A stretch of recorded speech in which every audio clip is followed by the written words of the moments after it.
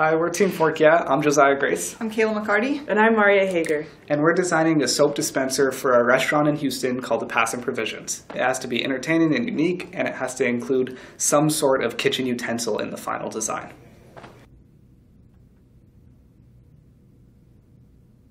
Uh, so to accomplish this goal, we've established six objectives for our design.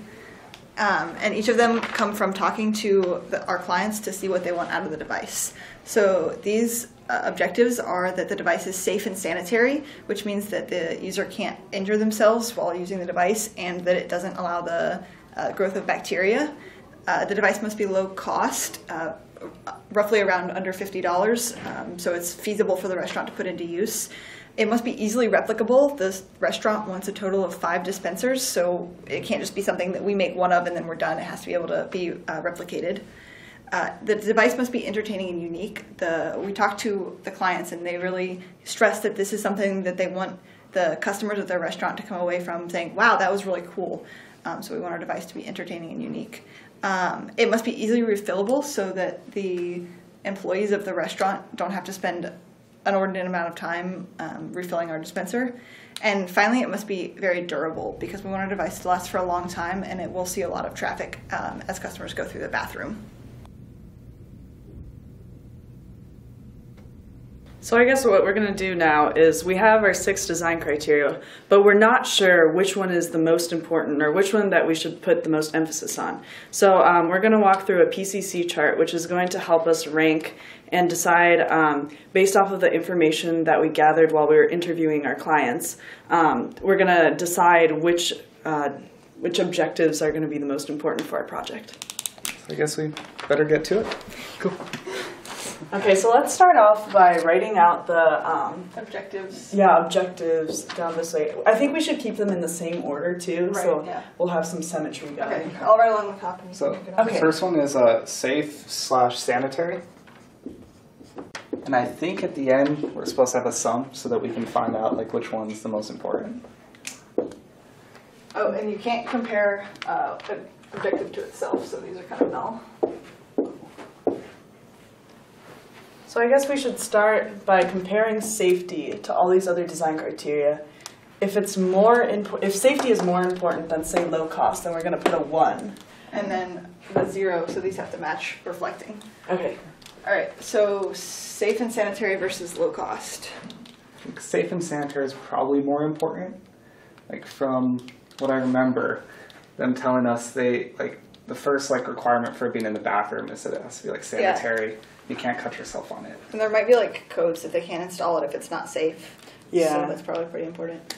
I think also, I mean, the primary purpose of a soap dispenser is to increase sanitation. So if it's not doing that, Yeah. and the project I mean, itself doesn't work. Low cost is good, but if it's like not, if it's going to injure people, then I think they'd rather pay Yeah. a little more. yeah. Um, okay, so then this would be a one here. And then I guess we'll put a zero. Oh yeah, because we have to match it. Cool. Be able to make six of them, but have them injure people. And It sounds actually interesting. They had mentioned entertaining and unique a lot. Like, Yeah, that was heavily emphasized when we were talking to them. Does that still mean that safety is more important, or Um, I think that with safety, there can there's going to be so many people passing through this restaurant that it can mm-hmm. really there's a high risk associated with any Yeah. type of like safety flaw. So Yeah. I think it would still have to be and more I think that entertaining and unique is like kind of like the secondary goal, but I think it like first off has to be like a functional soap dispenser, Yeah. which it wouldn't be if it's not safe. true? Because they can't put it in at all if it's not safe. Right, right. Got it. Okay. That makes sense. Let's give it a one then. So what about durable versus safe and sanitary? Well, I mean, I feel like safe and sanitary comes before durable. But I mean, if they, we install a soap dispenser that only works for three days, then that's not really helping the restaurant at all. That's true. But it almost seems like though they couldn't get to the point where they actually install it unless we can prove that it's safe and sanitary. I think that makes sense. I guess, and also like if it's if it breaks, then it's kind of null. But if it injures someone, then that's like a negative effect. Yeah, so I think it's that's probably the point. I guess. Okay.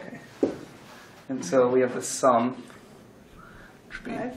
I mean, I think that did pretty well, but So I guess we'll find out what that means in the end. And I guess Oh. since these are con- safety sanitary is consistently better than all of these, Yeah. so we have to make these Oh, yeah, they kind of add to one, symmetric. right? Yeah. Okay. Oh, So it Easily replicable. I guess we should first define that. Um, so that was they wanted.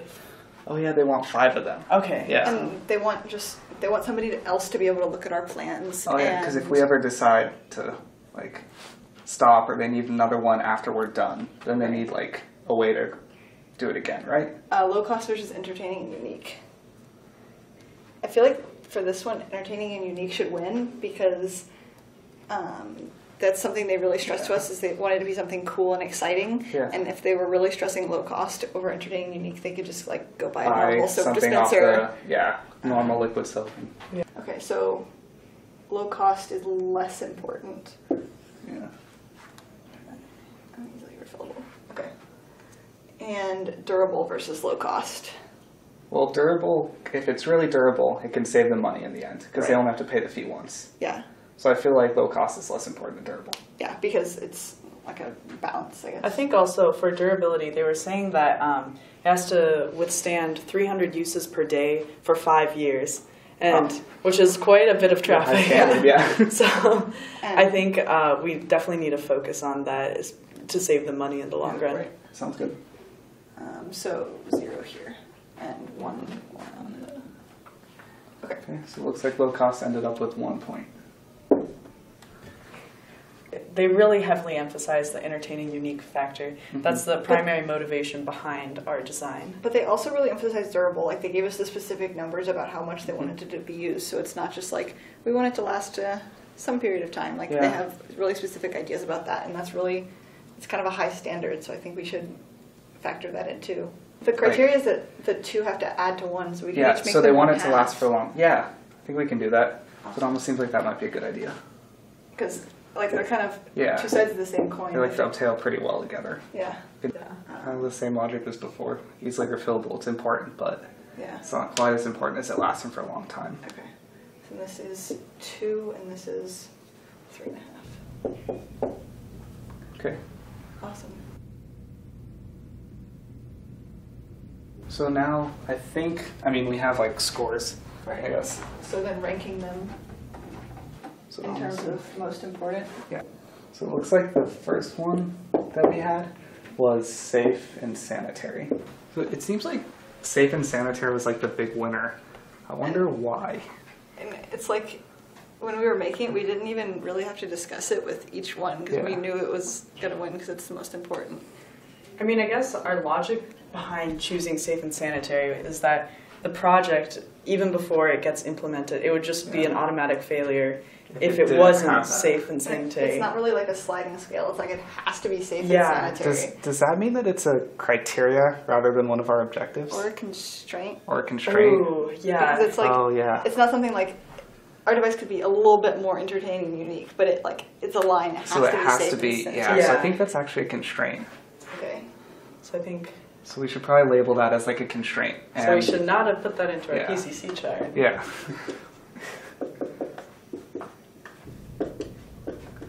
cool. Okay, so so now that we finished our PCC chart, we can kind of look at our objectives and see what's most important. One of the things we realized was that safe and sanitary actually turned out to be a constraint with our design because it's something that has to be there before it happens. And um, so that's why it easily won, and we can kind of move on and remember not to put that on our PCC chart next time. And then we figured out that entertaining and unique and durable kind of dovetailed as our most important objectives. And what that tells us is that the restaurant really wants it to be cool and for it to look cool, but it also wants it to last for a really long time.